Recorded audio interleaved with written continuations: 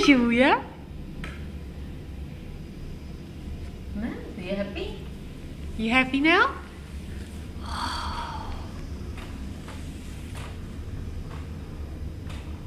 Not you happy? Huh? Knash? Yay!